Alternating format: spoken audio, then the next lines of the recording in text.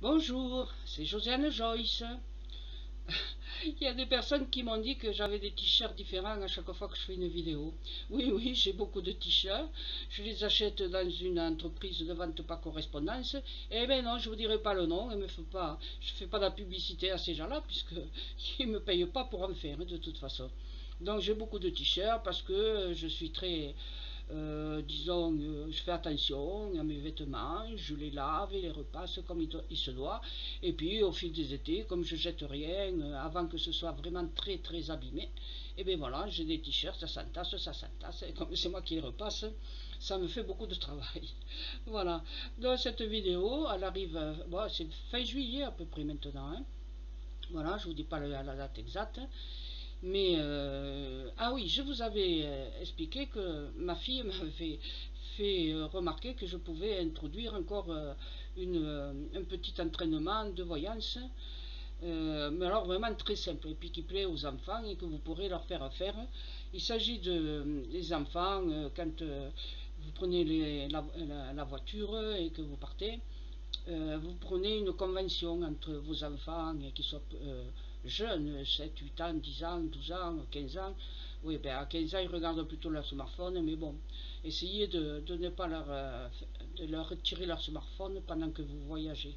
Parce que franchement, euh, il faut apprendre à, se désintoxiquer de, ce bestiau-là, d'accord? Voilà. Et surtout pas de téléphone avant l'âge de 8 ou 9 ans, parce que ils, étudieront très mal à l'école. Hein, S'ils sont toujours en train de, regarder la dernière TikTok, là, ou je sais pas quoi, vidéo euh, en direct pour les gosses. Bon, alors ceci étant dit, hein, chacun il fait ce qu'il veut. Voilà, vous faites une convention avec les enfants dans la voiture et vous décidez de voir euh, quelle voiture rare on peut rencontrer sur le chemin. Un chemin de 10 km, de 30, de 150 ou de 300 Bon, ma fille, elle, c'était euh, à l'époque, hein, parce qu'elle a grandi maintenant, ça devait être, je sais pas, dans les années 78-80, euh, elle était encore 8-10 euh, ans, quoi. Et un jour, elle me dit, deux chevaux vertes, ça retouche. Hein J'ai dit, quoi? Qu'est-ce que c'est? Elle me touchait l'épaule en même temps. J'ai dit, qu'est-ce que c'est que cette histoire? Ben oui, maman me dit, quand on voit des chevaux verts, des deux chevaux vertes, il faut taper sur l'épaule et dire deux chevaux vertes, ça retouche. Bon, d'accord. Et bon, c'est vrai qu'elles étaient plutôt rares, les deux chevaux de couleur verte à l'époque. Et puis, euh, je ne suis pas sûr que vous en trouviez beaucoup aujourd'hui. Donc, euh, vous choisissez une couleur de voiture, euh, mais pas trop courante quand même. Hein. Voilà, une voiture orange ou jaune, doré. Euh, euh, un jour, il faudra que je vous parle des couleurs, de la psychologie des couleurs, parce que là, vraiment, une voiture dorée, ça veut bien dire quelque chose de la psychologie de celui qui l'a choisi, la, couleur dorée. Voilà. Donc, ben, je ne sais pas, pas une voiture qu'on voit trop souvent, une voiture, je sais pas, une, une de l'époque, avant le, voilà, hein, celle qui avait il y a 18 ans, 20 ans.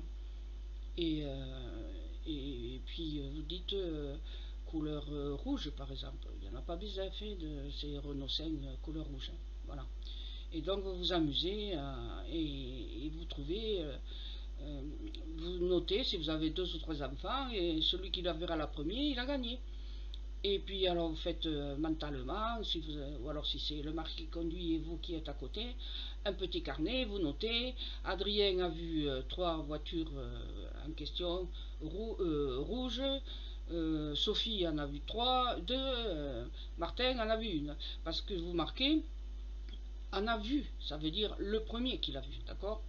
Et après, celui qui a gagné, ben, il a droit, je sais pas moi, une chocolatine, une glace en plus. bon, à la sortie, de toute façon, vous donnerez le même cadeau à tous les trois, hein, ou, à deux enfants. Hein. Il ne faut pas faire de, discrimination à vos enfants, qui soient le plus grand, le plus petit, le plus dernier, non, non, la plus grande, la, la moyenne, non, il faut pas, surtout pas, il faut faire ça. Les enfants, ils doivent être éduqués tous pareil.